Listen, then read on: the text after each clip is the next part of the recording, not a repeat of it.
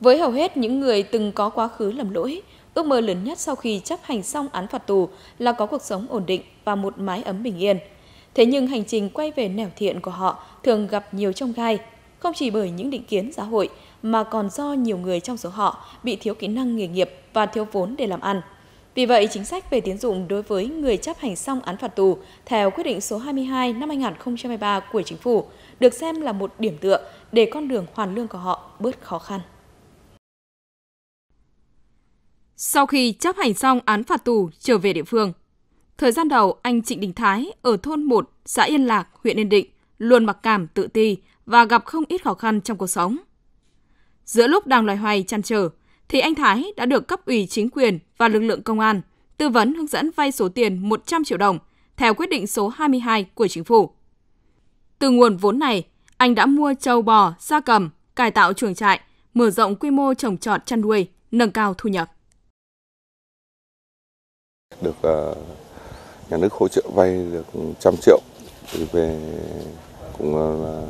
đầu tư vào cái chăn nuôi châu bò. Cái ờ, nguồn vốn này rất, rất quý báu thì mình có cái nguồn vốn và có động lực để làm lại từ đầu rồi là phát triển kinh tế trong gia đình cho vợ con và bản thân mình.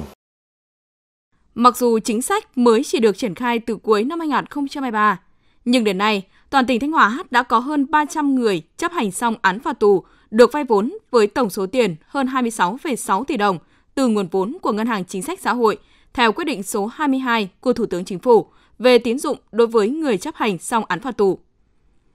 Chính sách nhân văn cùng sự vào cuộc quan tâm, giáo dục, động viên của cấp ủy, chính quyền địa phương và lực lượng công an các cấp đã trở thành điểm tựa tinh thần vững chắc, nuôi dưỡng niềm tin, tạo động lực để những người một thời lầm đường lạc lối trở về nẻo sáng của thiện lương, giúp họ vượt qua mặc cảm, tự tin mở lòng, hòa mình với gia đình, xã hội, quyết tâm làm lại cuộc đời, xây dựng cuộc sống tốt đẹp hơn. Ngân hàng sách à, xã hội cùng với Công an tỉnh Thanh Hóa cũng đã phối hợp chặt chẽ một là để tham mưu